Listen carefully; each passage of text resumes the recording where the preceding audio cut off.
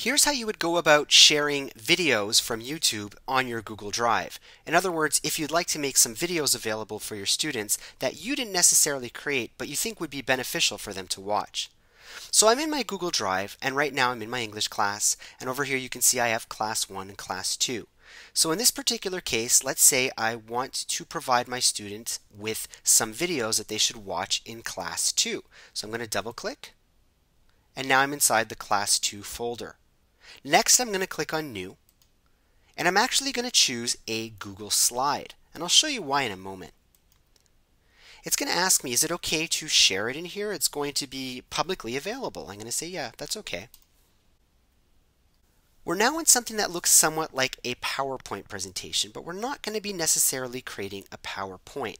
What we want to do is choose a theme. I'm going to choose something white, and I'm going to click on OK.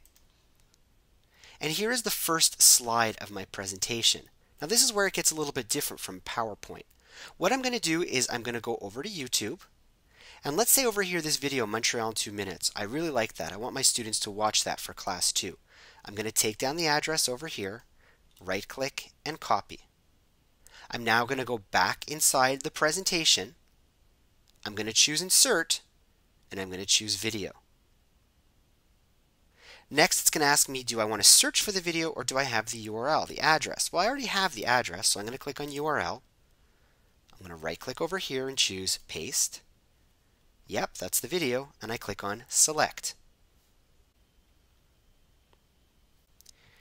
If you'd like, you can repeat the process and insert additional videos by clicking on the little plus over here, creating a new slide, and inserting more videos. Don't worry about this text, it won't show up. So I'm going to right click and I'm going to delete this. We're good for now. There's two more steps. What I want to do is I want to give it a name so that my students know exactly what they're looking at. So I'm going to click here and I'm going to call this YouTube videos for class 2. I'm going to click on OK. And if I actually want to go see what this looks like, I can click on the little folder. It says this item is in class 2. I can click on class 2 and that will bring me back to my Google Drive and you should see in class 2 there you go my presentation students can click on that and watch the videos